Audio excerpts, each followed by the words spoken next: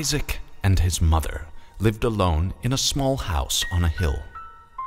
Isaac kept to himself, drawing pictures and playing with his toys as his mom watched Christian broadcasts on the television.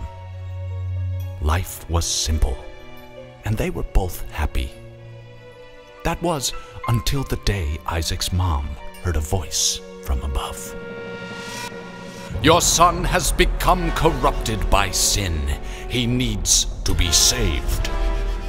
I will do my best to save him, my lord, Isaac's mother replied, rushing into Isaac's room, removing all that was evil from his life. Again, the voice called to her. Isaac's soul is still corrupt.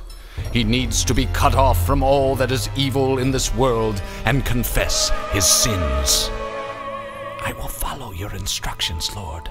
I have faith in thee, Isaac's mother replied as she locked Isaac in his room away from the evils of the world.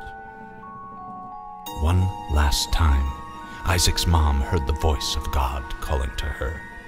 You've done as I've asked, but I still question your devotion to me to prove your faith. I will ask one more thing of you. Yes, Lord, anything, Isaac's mother begged. To prove your love and devotion, I require a sacrifice. Your son Isaac will be this sacrifice. Go into his room and end his life as an offering to me to prove you love me above all else. Yes, Lord, she replied, grabbing a butcher's knife from the kitchen. Isaac, watching through a crack in his door, trembled in fear.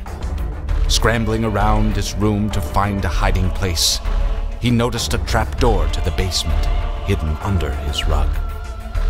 Without hesitation, he flung open the hatch, just as his mother burst through his door and threw himself down into the unknown depths below.